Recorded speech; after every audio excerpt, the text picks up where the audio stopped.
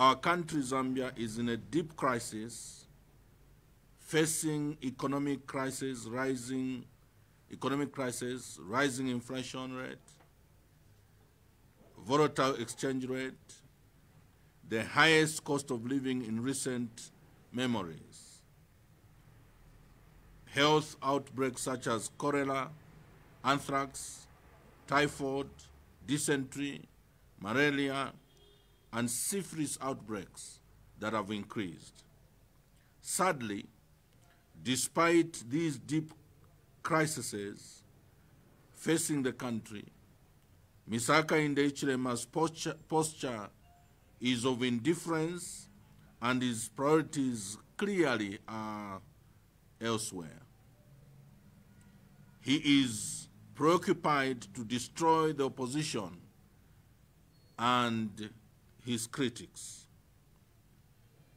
As Patriotic Front, and I believe all Zambians, we are concerned at the impunity, the level of impunity with which corruption is flourishing and the rate of corruption dues under the government of Mr. Hakainde Hichilema. All major decisions of the country in every sector are driven by an evil sense of corruption and driven by a desperate quest by Mr. Hichilema to hold on to power beyond 2026. We have noted that the, the, the return of KCM to Vedanta was driven by corruption. We have demanded for government to publish this fraudulent agreement between ZCCM, IH, and Vedanta. At one time, government engaged in lies by stating that the mine was returned on the word of mouth and the gentleman's agreement. But we all know a wicked agreement was signed and we demand for its publication. This government thrives in lies. A few days ago, I'm sure you have seen videos of an interview uh, conducted by a young lady, Chipo Manawasa, who has also been recruited on the crusade of trading lies, especially with the international media. And we pray that the international media will not continue to exhibit, uh, you know, some gullible, gullibleness in analyzing the information that is given to them by these who are in government. She goes on to lie that uh, when they took over government, the GDP of the country was at uh, $18 billion, which is a total lie. I mean, data is there for everybody to see. At the time that Patriotic Front was taking over government, the GDP was somewhere in the range of 12 to 15 billion dollars. At the time that we were leaving office in 2021, we were somewhere above 27 billion dollars, um, uh, you know, as uh, our GDP, to which even Dr. Musokotwane confirmed. But uh, uh, alas, they are lying to those who uh, relish the idea to be entertained to lies. And they even want to claim that they have been, uh, you know, posting a growth of 5.7 uh, of GDP. Our demand is that uh, this young lady and the entire government must apologize for the misinformation that they are churning out. And if there was any morality actually in this government, that young lady, that girl would have resigned by today because of the misinformation she was trading. As it were, similarly, the deal between ZCCM IH and an, and an investor purporting to be from the United Arab Emirates is shrouded in secrecy. An open tender process to get an equity partner from the shortlisted they shortlisted companies that included one from China, or two from China, and one from uh, South Africa, was abandoned at the last minute in a strange, in very strange circumstances. ZCC, ZCCM IH was made to accept a company with no non-mining experience called International Resource Holdings, IRH. This transaction involving the sale of 51% share holding of ZCCM IH shares into Mopani Copper Mines required approval from Parliament as stipulated in Article 210, sub-Article 2. President Hichilema ignored this process with impunity. What, he was what, what was done is an offense and abrogation of the Constitution of the Republic of Zambia, which is the supreme law of this land. And Mr. Hichilema is liable to impeachment is liable to impeachment. This man has committed many offenses that uh, the only recourse is for him to be impeached. We are also concerned that a huge transaction fees amounting to 15 million dollars paid to the advisors, Rothschild Company and Baker McKenzie this is a transaction that could have been done by local lawyers and financial firms. Why we are paying foreigners, especially those that are known to be associated with the president, we can only speculate. Similar deals have been characterized by corruption, whether it is the purchase of fertilizer. We all know from the very beginning of their journey in government the $50 million deal that was shrouded in corruption and the subsequent deals, obviously the purchase of uh, oil, we all know, medicine and equipments, all shrouded in single sourcing or direct bidding. All these processes have been abused and has become the normal way of procurement under Mr. Hichilema declaration of uh, a state of disaster and the begging of $900 million by Mr. Hakainde Hichilema. The declaration of the state of disaster is part of the leadership disaster that, has, that this country is facing. Mr. Hakainde Hichilema's leadership failures has made him the central figure of the significant failures that the country has suffered from time immemorial, or at least in is, is, is, is the, the record cannot be compared to any. He, imagine he exported the entire national strategic maize reserve, the Patriotic Front left of uh, 1.5 metric tons, you know, that we had left in, um, in the reserves due to his appetite and his colleagues to engage in corrupt practices. Corruption and insufficiencies have plagued, plagued, pledged the farmer into, you know, into, they have pledged them into support, you know, the support the FISP with fertilizer ar arriving rate or not enough maize in the reserves. We should have preserved that maize in preparation for days like or years like this one. Mr. Hichilema has given away any domestic resource by granting unfair incentives to the mining sector, revenues that should have, you know, gone towards, you know, our treasury and servicing our people, especially in the social sector. Let me talk about the shrinking democratic space.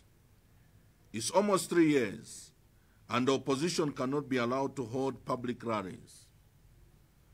Protests or demonstrations of any form or public processions. Now we are even being stopped from going to church. His Excellency, the President of Patriotic Front and the sixth President of the Republic of Zambia, Mr. Edgar Chagwa Lungu, went to attend church on the Copper Belt just a few days ago. Up to today, the host reverend of that uh, particular church and any place that uh, they suspect the president went to, the police and the intelligence have continued to harass and interrogate both the reverends, the pastors, as well as the lodge owners where it is suspected that he may have either you know, stopped over for a snack or to interact with uh, you know, people. That is unfortunately what the Zambian people and the opposition are being subjected to. The continued arrests and harassment of senior members of the opposition to instill fear and intimidation and silence critical voices is what this government is determined to do. Remember, a few weeks ago, the president went to force himself as a guest at a Kuomboka traditional ceremony. When they arrived at the airport, Zambians and the opposition were subjected to unwarranted threats and insults.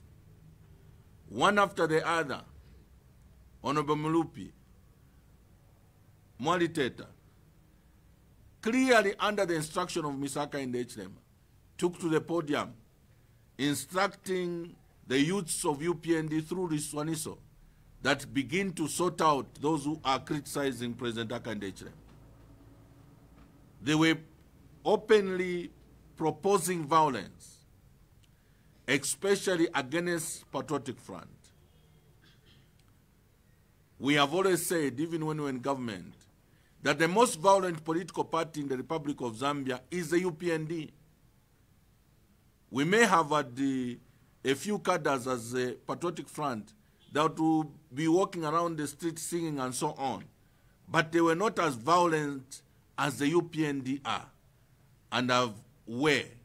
I'm sure you all remember the Mapatizya formula. You remember all, most of the incidences where you know violence occurred during either by-elections or political processions. They were initiated, perpetuated by the UPND, and they intend to continue using violence as a means of uh, perpetuating their stay in uh, government.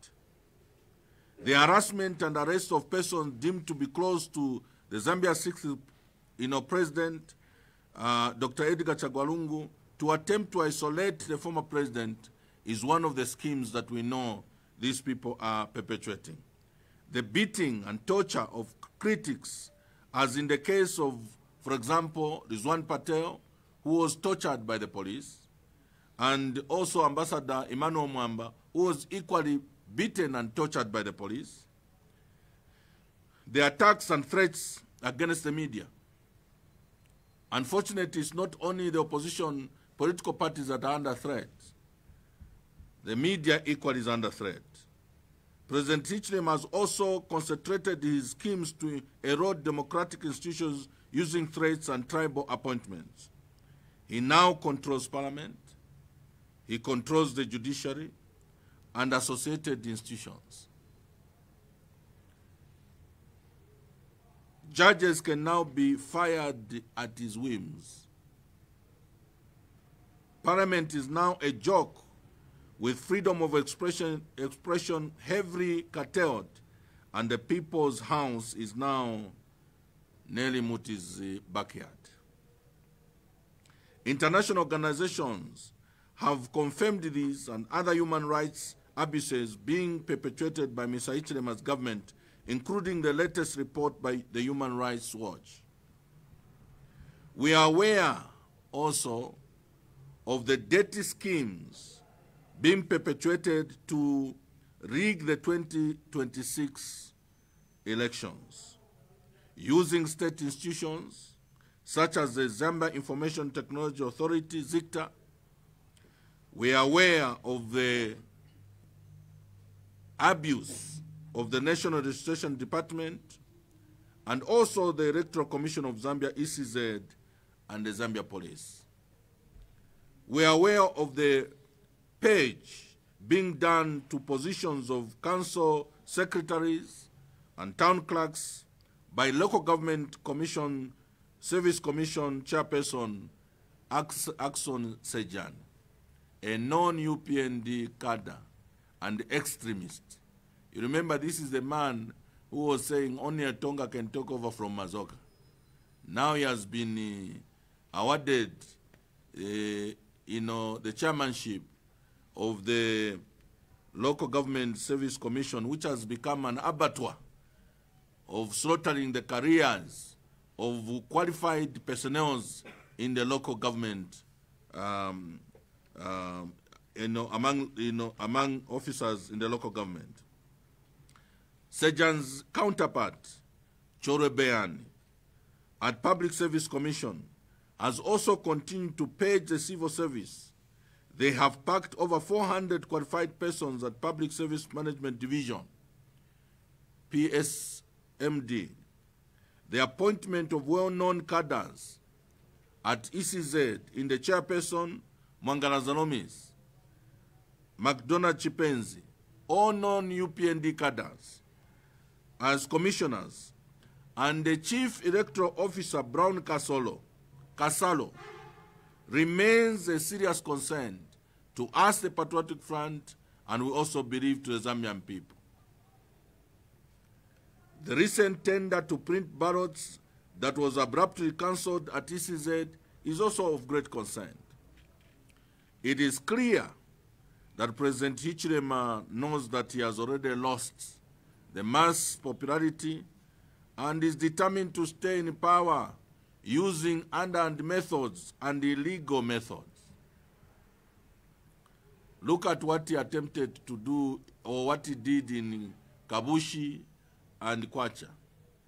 He believes that was a legitimate test and he wants it to be implemented at national level. Look at what he has attempted to sponsor in Patriotic Front to try and create factions. The only good thing is that the, the Zambian people and the members of Patriotic Front have been resilient to reject those schemes. And it has become very clear that that project has collapsed. The confusion that he wanted to export into Patriotic Front has gone back to community house and has gone back to state house. And they are quarreling by themselves. And for us who continue to reorganize and mobilize the party and getting ready for 2026. We call upon Zambians to reject these machinations and to help restore democracy in Zambia by waking up. May we all wake up. May we all, as it, the mantra has been said, ukani, it is clear that Zambians have to res resolve to res rescue themselves from this disastrous leadership and gang of criminals and liars. If Mr. Hakainde Hichilema had any sense of decency, by now he would have resigned. But as it were, uh, since that has eluded him, we have to deal with him and endure his bad leadership for another one year and some months. And we call upon the Zambian people, may we work together in making sure that the resolve you have made and we have made to retire Mr. Hakainde Hichilema completely, not only from politics, but also to send him back to where I think he deserves to go, and competently so, to his farm, so I can look after animals, because looking after animals does not cannot be compared or equal looking after human beings. With that, thank you very much, and may God bless you.